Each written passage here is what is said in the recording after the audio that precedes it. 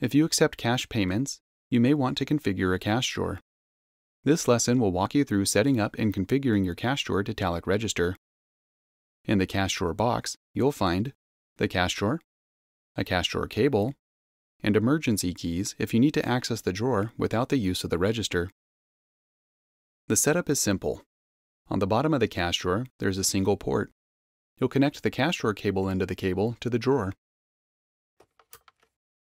You will then connect the printer end of the cable to the customer receipt printer.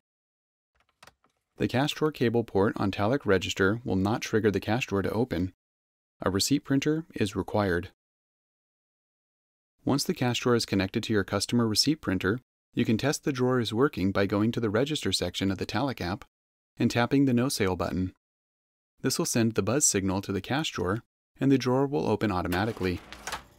If the drawer tries to open but does not fully open, you may need to unlock the drawer using the keys provided and try again. Once your cash drawer opens automatically, you're all set. To configure your cash drawer or learn more about cash drawer management, please check out the help articles linked in the details section.